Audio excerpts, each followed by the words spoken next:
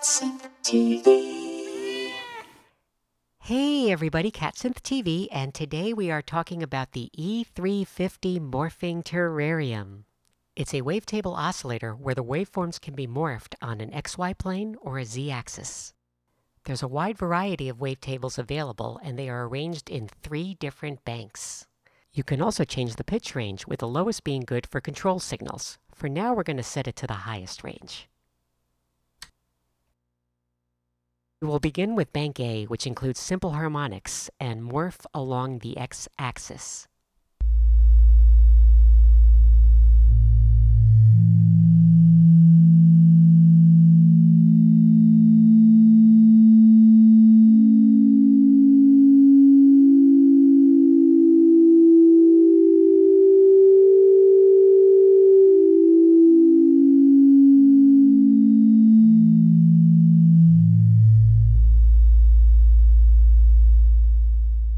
Morphing the y-axis, we can get some more complex sounds.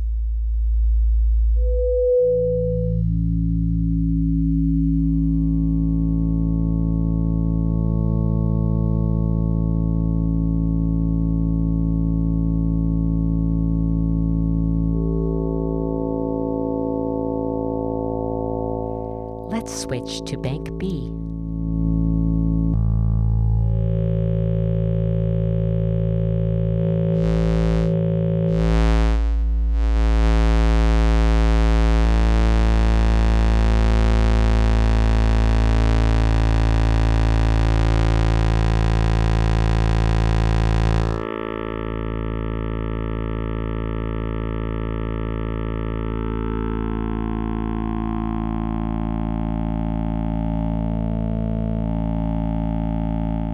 Okay, and now let's switch to bank C.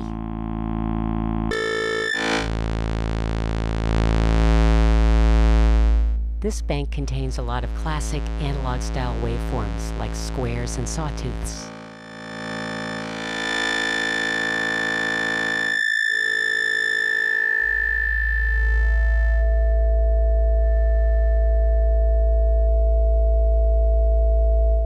Now let's try the z-axis.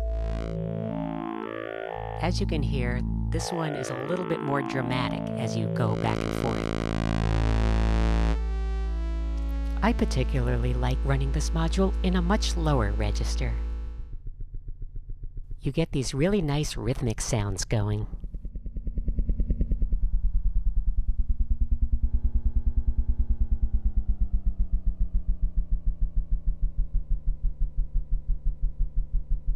This is a good time to introduce the MTX expander from Manhattan Analog. It includes some parameters that are otherwise hidden in the E350.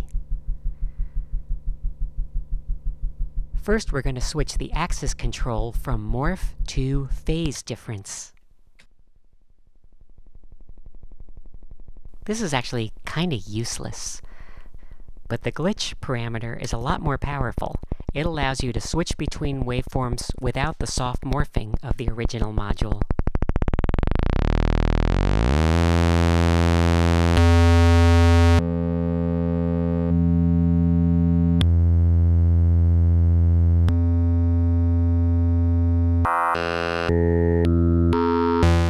We'll turn off the glitch and restore the original morphing behavior. Both the glitch and regular morphing become more powerful when we use external control of the various axes. Here we are using the LFOs of the Arturia MiniBrute to control the X and Y parameters. We also map the MiniBrute's keyboard to the pitch input of the module. Alright, let's have some fun.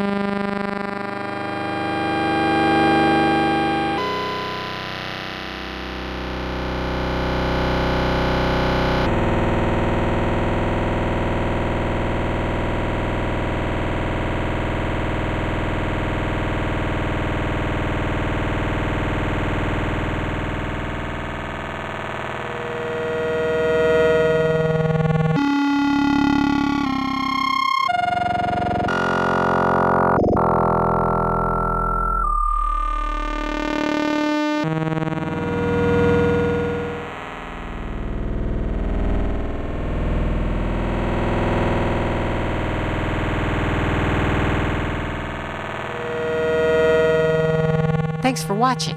Check out more at www.catsynth.com and please subscribe to CatSynth TV. You are watching CatSynth TV.